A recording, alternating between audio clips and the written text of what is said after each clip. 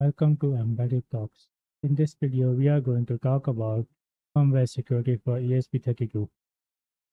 Further on in this video, I will talk about why firmware security matters, how to set up secure boot for your own ESP32 devices. We will discuss secure boot 1, secure boot version 2, and different parameters regarding the both version of secure boot.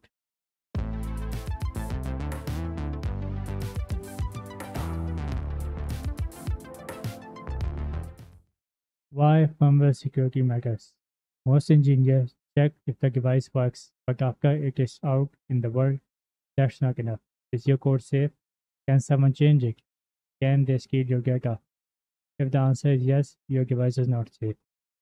Some ports give full access like JTAG and or UART. If they are open, your code is not safe. If the updates are not locked, someone can send fake ones and take control. No signs, no checks, then anyone can run bad code on your device. One weak spot can break the whole system. People trust your work. That trust is hard to win and easy to lose. So lock your code, lock your ports, lock your updates. Don't wait until it's too late.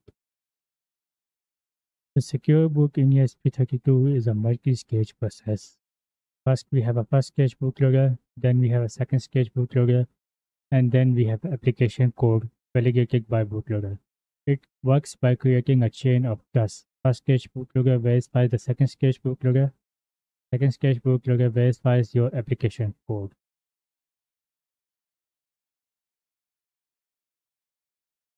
When the ESP32 resets, the first sketchbook bootloader initializes the hardware. It then uses a hardware random number generator to generate a 256-bit key. That key is stored in use block 2 Using this key, a digest of bootloader at offset 0x0 is created. Once the digest is written, a special E to script called ABS done is permanently burned. This locks in the secure boot.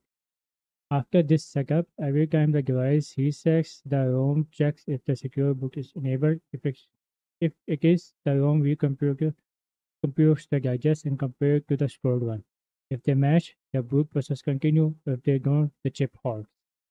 Once the first stage bootloader verifies the second stage bootloader, the second stage bootloader runs. This bootloader has public key built into it. It uses this key to check the digital signature of rest of the system like partition table and the main app. The app itself is signed using a private key, which is kept safe and not stored on ESP32. So even if someone tries to change the app in Flash, the ESP32 won't run it unless the signature is correct. This is how a secure boot works. It's a multiple change process having multiple steps and multiple stages. The first stage bootloader verifies the second stage bootloader and second stage bootloader verifies the app. To enable secure boot, we will first open the ESP32 menu config, then go to security features. From there, we will check this, enable the secure boot in bootloader. Then we will see in which mode we want to secure the bootloader. We have two options, one-time flash and give flashable. One-time flash mode. In one-time flash mode, the ESP32 generates a unique 256-bit key on first boot and locks second. This is RDA for production. Once the bootloader is flashed, it can never be changed and it, it can never be changed in flash. It can never be changed. Bitcoin class e flash per mode let's you supply your own book चुका key R G F drive a burning key from your signing key burn a into digest burn burn is digest into e fuse and you can generate book लगा image and there digest as negate in practice one can mortgage कमेंगे for shipping devices वाली flashable mortgage हैंगे ग्यूइंग development और book typing Um, after selecting the e-flashable bootloader mode, we will go back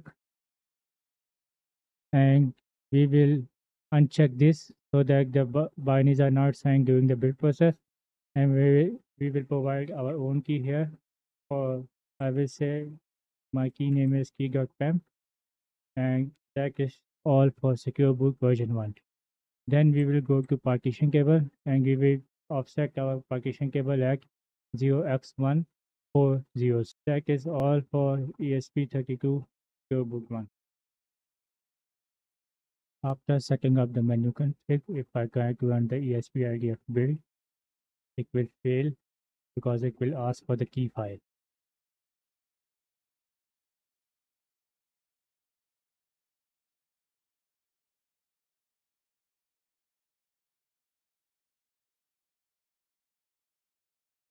We will now create a key file with the ESP secure command.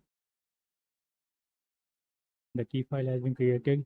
We will now run ESP IDF.bootloader to sign our bootloader. This gives us error because it is looking for the key to secure the bootloader and we can generate do that by using this command.